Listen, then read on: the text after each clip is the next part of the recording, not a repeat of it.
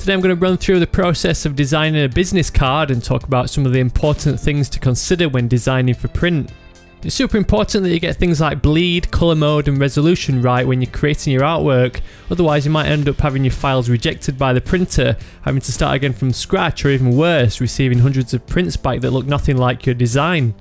So hopefully this guide will cover each step and ensure your print projects go smoothly. Business cards are a common printed project that are fairly simple to design, but before you start make sure you receive specific artwork instructions from the printer you're going to use. Every company has their own preferences, so the settings I'm using in this tutorial might not match up exactly to what your printer wants, but at least you'll know what they're referring to when they say things like trim size and bleed size. We're going to use a mix of Illustrator and Photoshop to make the most of each application's strengths. The overall design will be composited in Illustrator, so we'll start there. Create a new document and enter the dimensions of the business card in the artboard size settings. A common business card size is 88 by 55 millimeters, but again make sure you check with your printer first on the exact product specs. If you're in the US, you'll probably find that the measurements are in inches as opposed to millimeters. The print firms I've used in the past required 3mm of bleed, so enter 3mm in one of the bleed fields and press tab to apply it to all sides. Bleed is basically some padding around the edge of the design which is cut off during the printing process. It ensures that you don't end up with tiny slithers of uh, white paper along the edge of your prints if the machine isn't lined up exactly. We're designing for print, so select the CMYK colour mode, so we're working in cyan, magenta, yellow and black inks as opposed to RGB light. Then most business cards are double-sided, so increase the number of artboards to 2. The main white area of the artboard is the finished business card size, also known as the trim size. The red outline indicates the bleed area which any backgrounds will need to extend to. It's also wise to highlight a safe zone within your document. This not only makes sure your important elements like a name or logo aren't too close to the trim area that they risk being chopped off, it also helps balance your design by applying some margin around the edge. The size of the safe zone is entirely up to you, but 5 to 10mm shifts your elements inwards enough to look neat. You can highlight this area by using guides, or draw a rectangle then right click and select make guides. I want a black background for my card design, so I'll grab the rectangle tool and draw a shape that covers the entire bleed area, clearing out the stroke to leave just the fill colour. A black background sounds simple enough, but there's a whole plethora of different blacks in print design, if you move the colour picker to black, you'll notice it's made up of 000 in RGB, which means there's no light, so it's as dark as you can get. But look over at the CMYK values and they're all over the place, totaling at 329%. This is way too much ink to be printed when you consider the general limit is around 260%.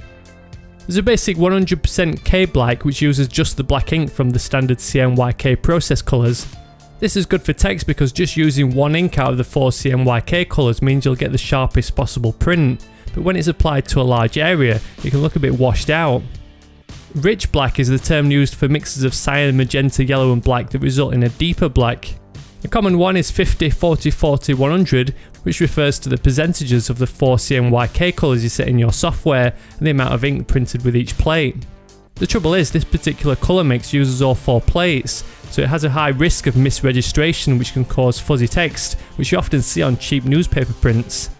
A couple more common blacks are warm black and cool black, which makes 100% K with 50% cyan or magenta. These two recipes only use two plates, so it's much safer to use with small text while still darkening the black.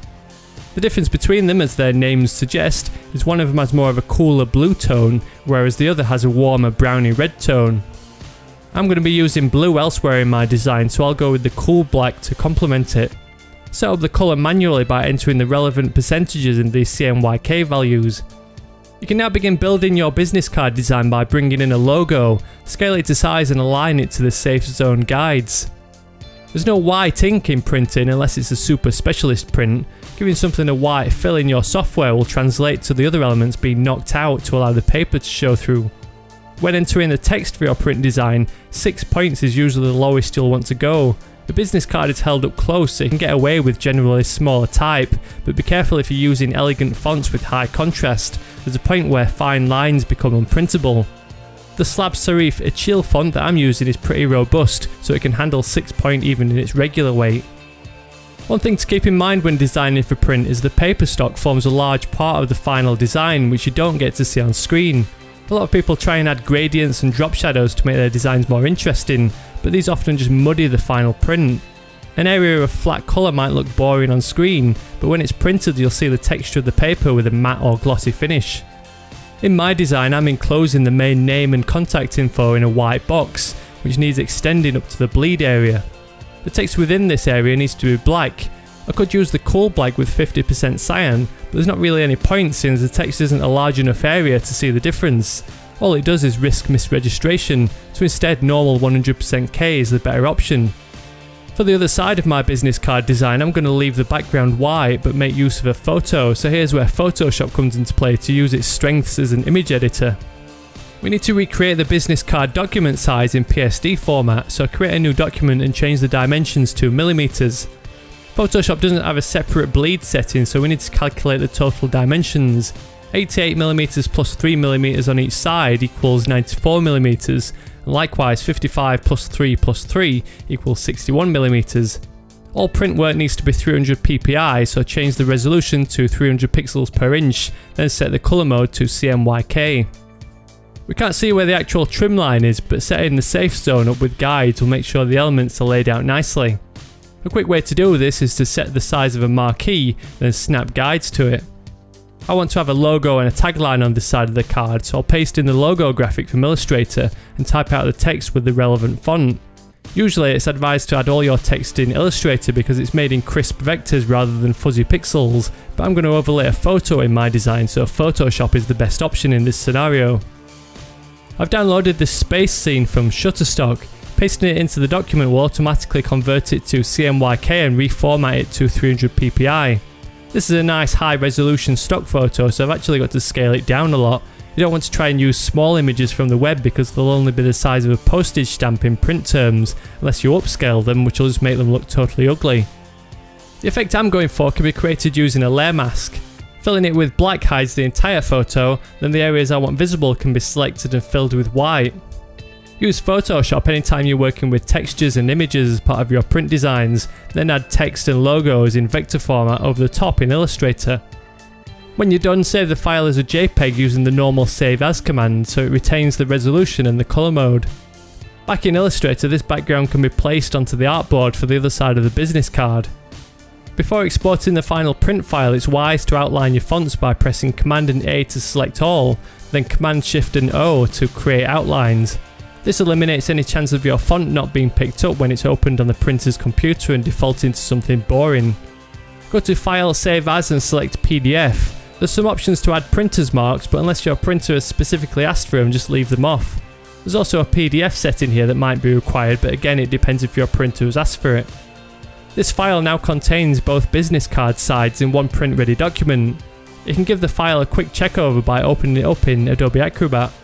Look for the output preview tool and toggle the various plates to see how the design will be printed using the four process colours. In my design you can see magenta and yellow aren't even used at all on the first side.